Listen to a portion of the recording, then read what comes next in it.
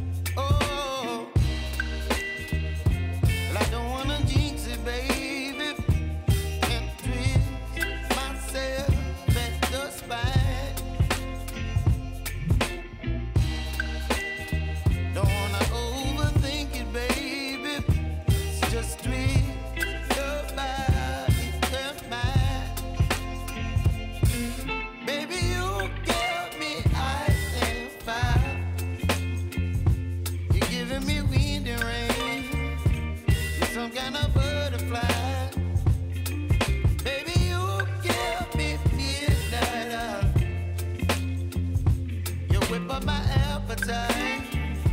Don't leave me here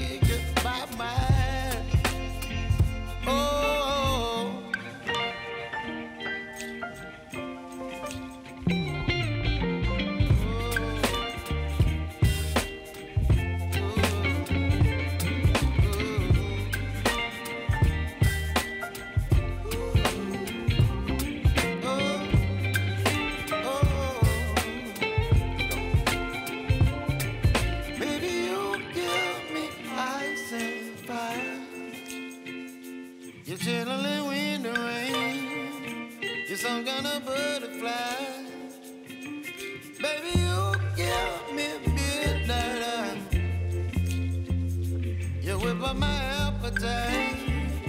Don't leave me dry.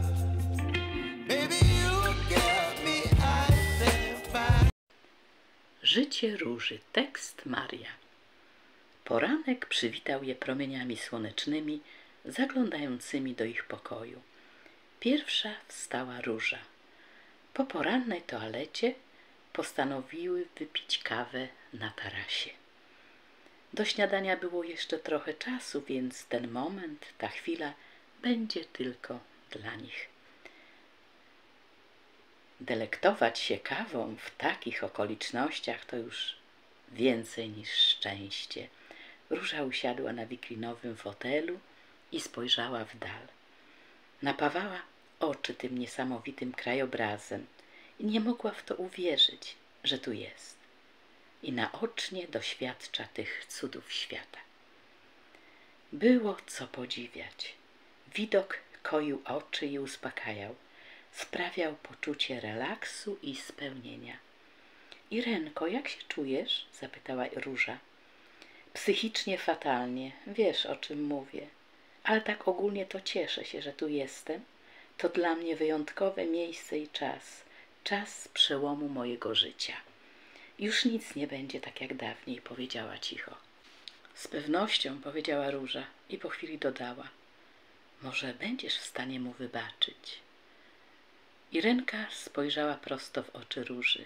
Nie, już nigdy nie będzie tak jak było. Poświęciłam mu tyle swoich lat, a on?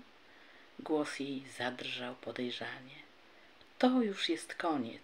Nie przebaczę mu i nie chcę go widywać. Niech idzie w swoją stronę. Singiel. Tak siebie określił, więc sprawa załatwiona. Jest singlem. Róża była zdziwiona. Ta cała sytuacja ukazała inne oblicze Irenki. Zirytowanej, wściekłej, a nawet złośliwej. Nie komentowała tego jednak. Irenka miała prawo tak reagować. Dobrze, że umiała i potrafiła wyrzucić z siebie żal i ogromne rozczarowanie postępowaniem Piotra. Już dobrze, powiedziała Róża. Wrócimy do tej rozmowy po powrocie do kraju, a tymczasem korzystajmy z uroków tej wyjątkowej wyspy. Osiem dni to trochę mało, by wszystko zobaczyć, ale najważniejsze punkty, atrakcje zobaczymy.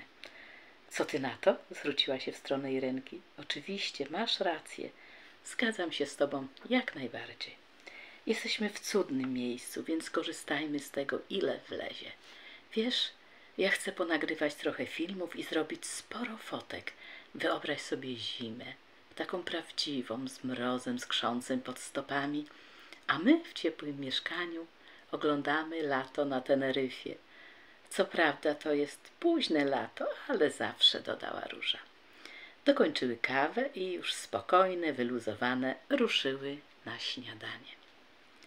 Emil był umówiony z Piotrem i, i czekał na działce na jego przyjazd. Był zdziwiony, że Piotr szuka jego towarzystwa. Zazwyczaj wpadał, ale sporadycznie, zawsze zajęty i nie mający czasu. A tu nagle chciał się z nim kontaktować. Być może to było podyktowane tym, że i on miał bujne życie towarzyskie, więc Piotr być może oczekiwał wsparcia z jego strony. Ale jakie może być wsparcie w takiej sytuacji, kiedy wszystko sprzysięgło się przeciwko niemu? Nawet sytuacje jak w niezłym filmie wyglądały prawie że komicznie. No jedynie dla Irenki nie. Jej to współczuje, pomyślał. Dobra dziewczyna z niej. Iwonka podniosła wzrok na Stasia i już nie musiała nic mówić. Rosół? zapytał. Skinęła głową. Ostatnio codziennie jadła tylko rosół i miała na nic ochoty. Staś gotował dla niej ten rosół i codziennie miała jakby na zawołanie. Mimo wszystko wyglądała nieco lepiej. Twarz jej się zaróżowiła i tym samym policzki nabrały rumieńców. I przede wszystkim nie jest taka wychudzona. Tak wyglądała, jak przyjechała do nich. Teraz, tak obiektywnie patrząc, wygląda prawie na zdrową. Oby tak było, pomyślał Staś. Ciąg dalszy nastąpi. Dziękuję bardzo i tradycyjnie zapraszam do pisania. Dziękuję pięknie.